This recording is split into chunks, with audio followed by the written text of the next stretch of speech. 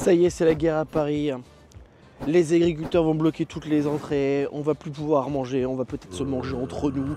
Est-ce que euh, un Parisien c'est bon en bolognaise? Je ne sais pas, on va le savoir dans quelques jours. Les agriculteurs sont vénères, c'est normal, hein, comme euh, beaucoup de gens sont vénères. Et donc du coup ils ont décidé de bloquer tout. Bon bah c'est bien, c'est bien, écoutez, euh, moi de toute façon je voulais perdre du poids donc j'avais rien envie de manger, donc ça tombe bien, tu vois. C'est marrant parce que Darmanin il dit oui bah je vais pas trop les agresser parce que je comprends leur détresse, tu vois. Du coup ils comprenaient pas les gilets jaunes quoi, parce que les gilets jaunes c'était pareil, c'est parce qu'ils avaient la dalle les gars et puis qu'ils voulaient partir au qu'ils ont fait leur manifestation quoi. Mais eux fallait leur taper dessus parce que eh, ils votent pas à droite.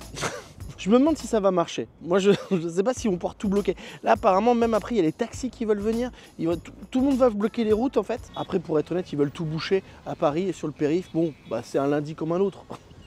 Ça changera pas grand chose. Sauf qu'on aura plus de Kinder Country. Ça c'est quand même relou. Hmm. Les agriculteurs ils vendent un truc, ils perdent de l'argent. C'est quand même fou hein, qu'on en arrive là. Hein. C'est marrant parce que chacun trouve la cause un peu différente, tu. Pour les mecs de droite, c'est à cause de ces bobos écologistes, tu vois.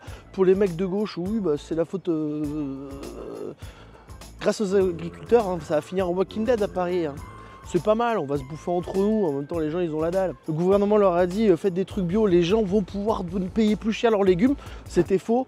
Euh, on leur a dit euh, faites du commerce de proximité, les gens vont mettre plus d'argent, c'était faux. En fait il faut que le gouvernement il se rende compte qu'on n'a plus d'argent. voilà. Et c'est normal en fait que les agriculteurs soient payés justement, tu vois. C'est fou que quand ils vendent une carotte ou un steak haché, ils perdent de l'argent. C'est pas logique en fait. Même les gens du gouvernement qui sont capitalistes à fond, bah, c'est pas du capitalisme, c'est juste de la sodomie. Hein. Courage aux agriculteurs, bien entendu, ça va être difficile. Juste laisser passer tout ce qui est camion Entremont, euh, parce que je vais pas pouvoir me priver de raclette plus de trois jours. Ça, c'est pas possible. Qu'est-ce que tu en penses, toi